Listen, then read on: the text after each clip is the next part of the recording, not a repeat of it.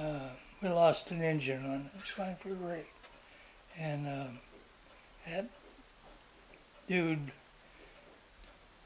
was on fire, smoking, no visible flames, but smoking, uh, burning the oil was leaking from their engine. It was knocked out, number four engine.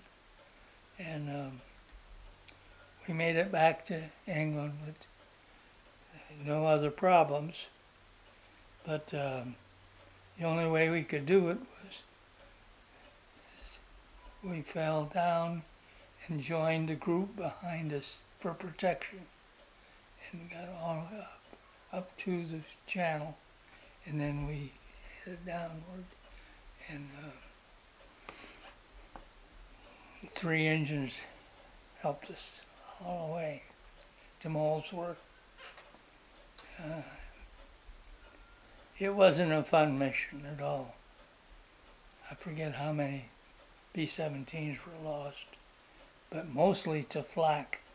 Now, can you tell us what was going through your head? What were you thinking about at that moment?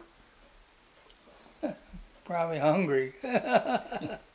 no, I, I, I, I wouldn't.